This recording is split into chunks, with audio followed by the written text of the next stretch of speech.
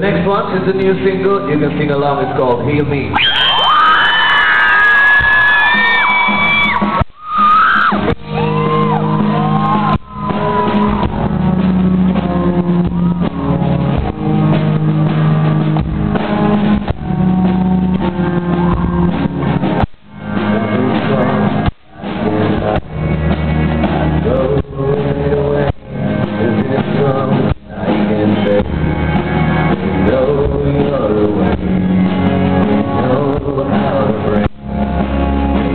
If